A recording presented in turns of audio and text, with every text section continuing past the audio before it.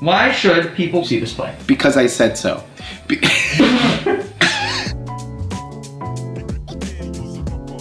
You're the new artistic director of Mile Square Theater. I am. Why did you select Berta Berta? One of my favorite people and playwrights, Angelica Chéri, wrote it. So I just thought it would be really great for me as my first play chosen for my first season to be a play that I love, that I've been around for a while, and that features two black people who are in love and figuring out how they can be together and if they can be together. It's the kind of contemporary piece that is also a period piece that speaks to what our new focus at Mile Square is, and that is to continue to make classic theater, yet to focus on contemporary works. From what inspirations did you draw as you were shaping this play as director? Oh God, what kind of question is that? One that I worked hard on.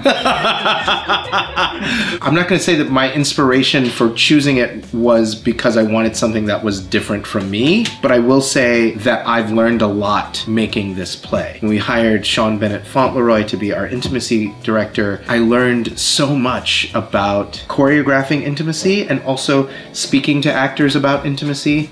Really experienced my level of comfort and discomfort with some of the intimacy that happens on stage in this play. And so I feel like I only want to continue making plays that challenge me in a really, really great way. I don't know if that answers your question, but yeah. Okay. In a way. In a way.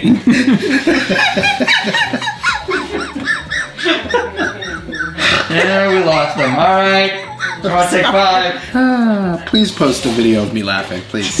what do you love most about this play? So the play was written by a Christian woman about a Christian woman. And the Christian woman in this play believes in things that aren't necessarily what we think of as Christian these days. And so there's something really exciting about featuring ritual and religion on stage in a way that pushes the boundaries of what we believe about modern day Christians. Let's say you weren't directing this play. Who would you bring to see this play? I think I would want all of the people with whom I've performed in other pieces to come see this play. Any particular reason? Yeah, because it's different. When you ask me to compare this play to other plays, I will do that. But it is so not like those plays that I say that it's like because it is its own thing. It's really, really different from what you expect for black theater. Next question. Yeah. How does this play affect LeBron James' legacy?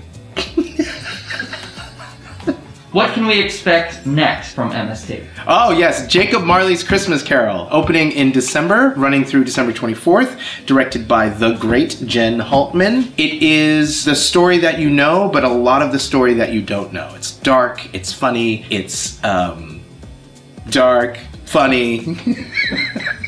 We're gonna have to get the marketing team in there to punch that up a little bit. Yeah, get the marketing team yeah, to punch yeah, that we'll up. to, we'll... It's gonna be really great, and we're doing it all on this little stage. Kevin, that is all I have. Do you have anything that you want to say? I appreciate all of you for watching it, this video. Comment, thank you. Tell Kevin thank you. Thank you, Kevin. Oh no, no, I didn't mean.